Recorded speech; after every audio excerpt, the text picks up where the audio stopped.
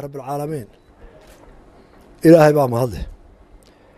Akhyaarta halkan isugu timid yeedhidda anigaa lahaa. Soomaaliduna waxay tahay ninkii dadka u yeedhay baa hadalka bilaaba ayaanu kacay. Maanta saacad ku dhow kowdii meelaha waxaa la ii keenay baaq dhallinyaradiinan uu hogaaminayo cabdikariim axmed mooge oo iminka ahaa musharaxii ugu codka badaa magaalada hargeysa ee dhigay rikoord aan hore loo dhigin.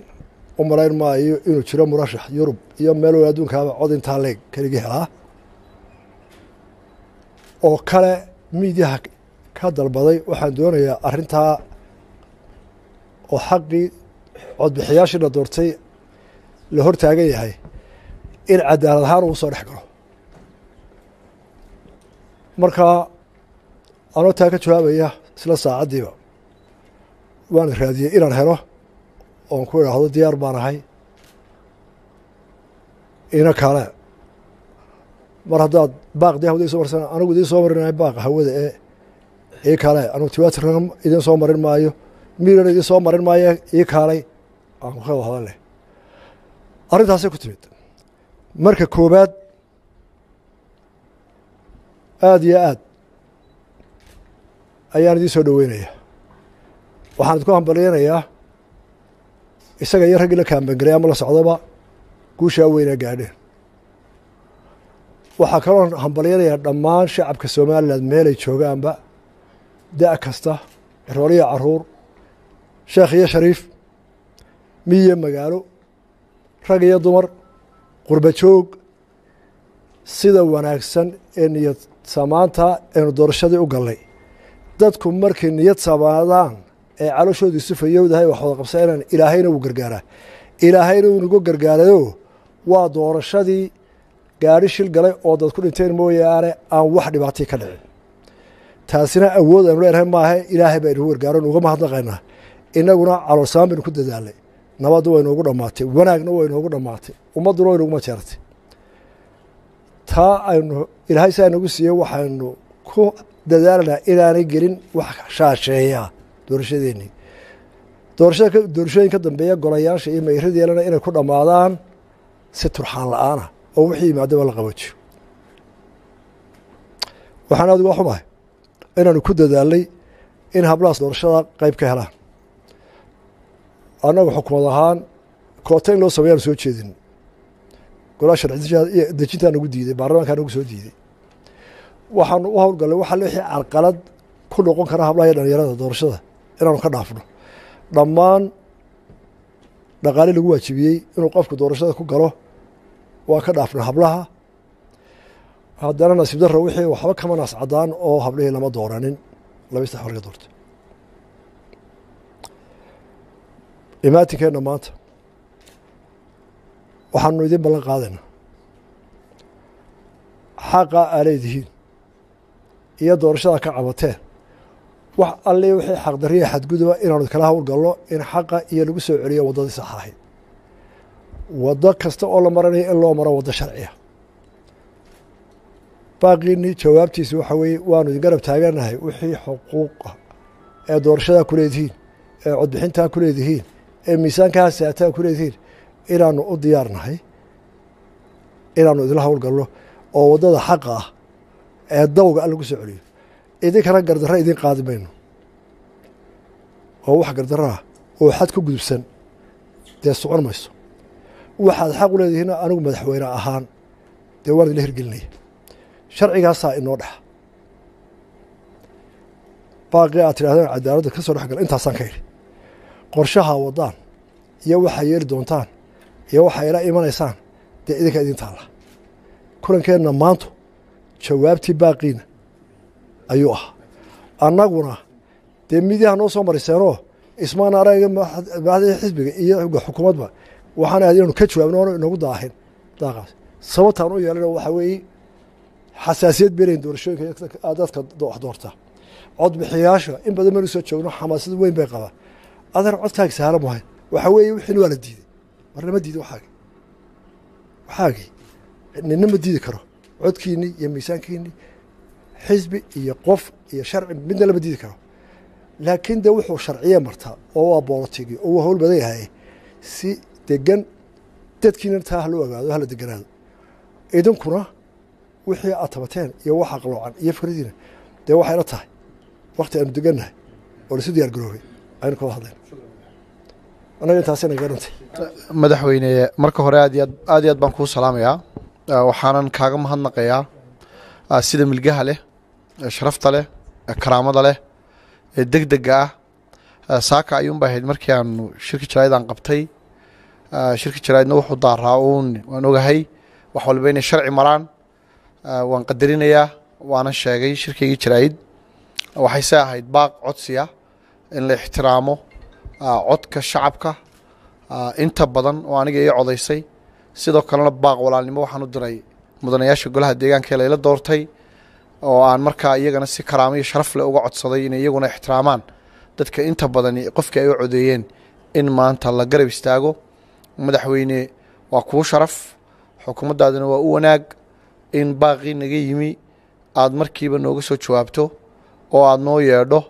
Waa sababta aada u tahay madaxweynaha qaranka waa sababta aada u tahay odayga somalilan. Intaana waan kaa filayey waan kaaga mahadnaqayaa waxaan sidoo kale u mahadnaqayaa walaaladeeda kale ee xildhibaanada ah ee layla doortay ee iyaguna wanaagun la jecel somalilan ee wanaagga la jecel hargeysa. Marka madaxweyne anigoo ku hadlaya magacii xildhibaanadiina la wada doortay dhammaantood xisbi walba ha ka sharxnaadaan xisbi walba ha ka soo baxaan. Aad iyo aad baan madaxweyne kugu mahadnaqaynaa. Waa ka mahad celinaynaa in aad markaa naaqbashay shacabka somalilan weliba gaar ahaan shacabka reer hargeysa ee codeeyey ee naga filaya inaanu u shaqayno oo aanu u dhisno hargeysa cusub iyagana waxa u khayra u wanaaga in ilaahay siiye madaxweyne ixtiraamaya oo dhegeysanaya oo baaqooda anigu aan afkooda dee ku hadlayan lahaa intii badnayd baa ii codaysaye arrintaha la soo dhex galo. Markiiba ka soo jawaabay iyaduna markaa waa sharaf weeye. Marka dadkiina doortayna sidaa ha u ogaadaan insha allahu tacala madaxweynena inta hadhay waanu insha allahu tacala kula fadhiisan waanu kula dhammayn.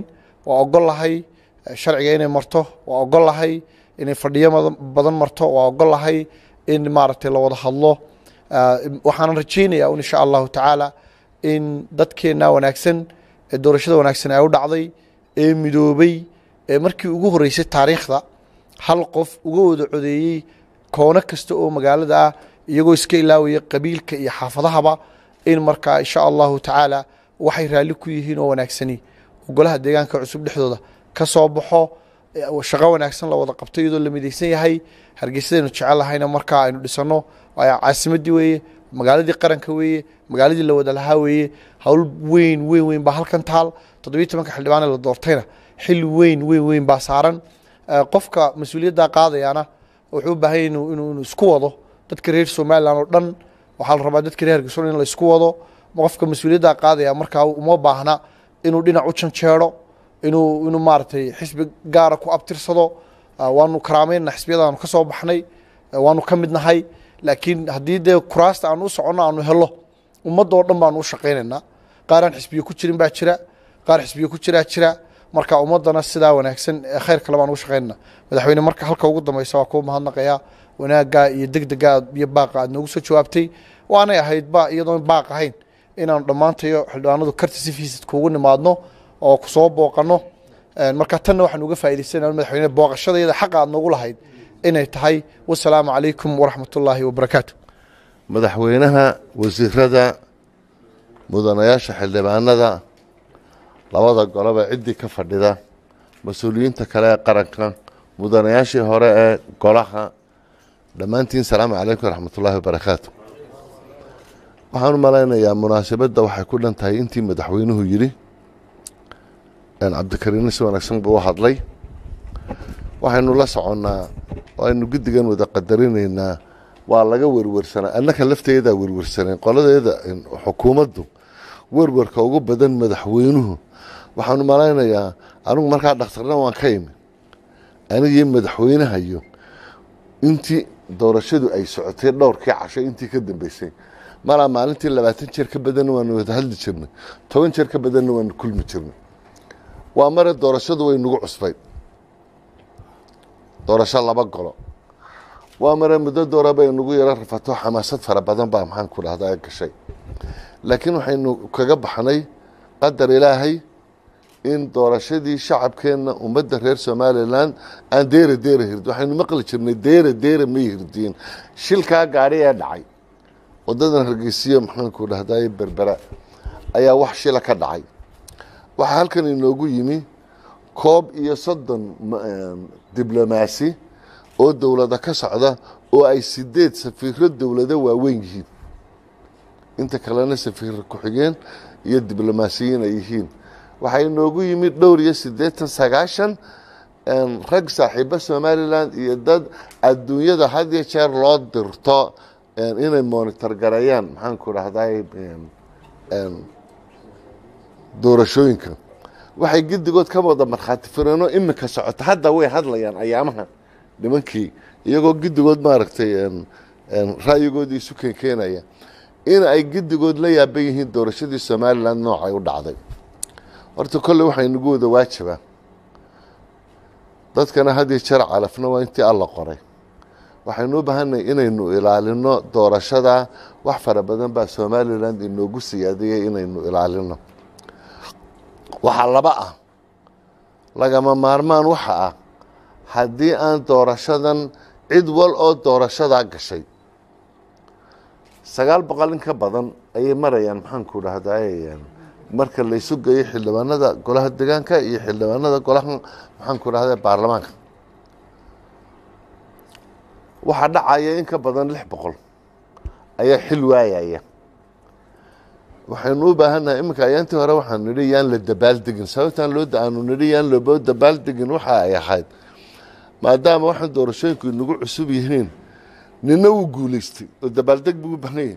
Nina de wuu dhacay. Wixii uu haystay baa ka raacay efortkiisii baa ka raacay. Marka xoogaa shimbira waaqleyn buu u qaadanayaa ninka kale. Marka waxaynu u baahan nahay cid walbana inay xaqeeda hesho. Haddii kelmadda waan idin xasuusinaya haddii cid walba ay xaqeeda weydo ama cid walba xaqeeda la siin waayo wanaagina dhex ooli maayo. Marka waxaynu u baahan nahay waa tartan siyaasi ah waa tartan doorasho waxaynu u baahannahay tartankaa doorasho inaynu taxamulkiisii yeelano in ay cid waliba ay hawsheeda samayso. Loolanka siyaasigihii waa meeshiisa tartanada siyaasigihii waa meesheeda. Wax waliba waxay u baahan tahay inay hufnaadaan. Waxaan marinaynaa markaa iminka doorashadii way dhammaatay. Waxaa hadhay qodob sharci waxaa ka hadhay labada gole xilligii ay fadhiisanayeen iyo maxay ku fadhiisanayaan? Golaha baarlamaanka waxaa fadhiisanaya madaxweynaha jamhuuriyadda somalilan qodob dastoorka qaranka ah ayaa siinaya inuu madaxweynuhu fadhiisiyo. Golayaasha degaankana anigaa fadhiisinaya. Cid kaloo fadhiisin karta ma leh. Anigana xeerka wax ku maamuli doontaan meeyarada barasaabadu ee lagu maamulo gobollada iyo degmooyinka law number twenty nineteen ayaa anigana isiinaya article inaan caddeeyo maalinta aad fadhiisanaysaan annaka horta intaasaa nagaga hadhay. Intaa waxaanu rabnaa si nadiifa u wanaagsan bay u soconaysa qodob sharci baa dhiman qodobkii sharciya dhinnaa waxa uu noqonayaa ka marka ay maxkamadda morodishe hargeysa gobolkaa dhaarinaya burco cerigaabo laascaanood mid walba gobolkeedaa dhaarinaya maalintaa gobolku dhaariyo golaha degaankuna mudduu yeelanaya aniga muddadaasaa laygala xisaabtamaya. Golaha wakiiladana madaxweynuhu mudduu yeelanaya muddadaasuu ku qabanaya. Waxaan kolley soo jeedinayaa qolada ay ku rafanaysaa waa annaka. Annaka waxaanu ku dadaalaynaa inay dariiq wanaagsan marto dariiq sharciya marto hufnaan marto cid walbana xaqeeda maxaanku dhahdaye la siiyo. Waxaynuu baahannahay waxaynuu baahannahay had iyo jeer. Gadoodka dadka gadoodka dadka waa la geliyaa. Xamaasadda doorashaduna gadood bay leedahay. Yaan gadood dadka la gelin. Taan ka wada ilaalin. Dadka yaynaan gadoodin waayo waxa weeye ani waxaan doonaya inaan kursi ku fadhiyo. Haddaan kursiga doonaya inaan ku fadhiyo ku sii ciyaaro miyay soconaysaa? Miyaan ku fadhiyaya anu marka waxaan jecel lahay inaa idinkuna aada dulqaad iyo mas'uuliyadsa saartaan annagana waxaa nagu waajibay inaanu ilaalino mas'uuliyadda sharciyeed ee golayaasha hawshooda lagu maamulayo. Cabdikariin iyo dhallinyarada maxaanku dhahday taageeraysa aad iyo aad baan u soo dhaweynayaa aad iyo aad baan u hambalyeynayaa kuwa kalena waan hambalyeynaynaa ilaahay guul ha inooga wada dhigo. Gidigeenna aan dadaalo anigu meeyar kastoo la doorto waan xukumaya un ama kulmiye ka soo baxo ama wadani ha ka soo baxo ama ucud ha ka soo baxo. Ciddii wax garan weyda. Khasabay inta aniga sharcigaa idinka hadhay. Diyaar baan anigu ahay in aad toos xafiiska igu timaadaan. Diyaar baan ahay haddaa wax ka garan weydaan inaan commissionka idinla tago. Diyaar baanu ahay haddii aad madaxweynaha u baahataan inaan madaxweynaha. De isla mar ahaanta cabdikariinna waxaan ilaalinayaa nabadgelyadiiyo gadoodka gadood in la sameeyana de waan horjeeda. Ila wasiirkii daakhiligaan ahaya hayala yaabina dee hadhowta de marmar baan qadaadka idin qabanaya dee haddii gadood soo baxo. Marka waxaan jecellay intaanay intaasiba inaga soo hirgelin. In aynu isku dubaridno wada shaqaynta iyo maxaanku dhahdaayay waxyaalahan. Telefon baan isu soo diri karnaa waynu isu iman karnaa waxbaa la dareemi karaa dareemadana waan sixi karnaa. Aan dareemada saxno yaan miidiyaha waxba la isu marinin aynu wada xidhiidhno aynu ka sheekayno sidaynu hawshan u dhamma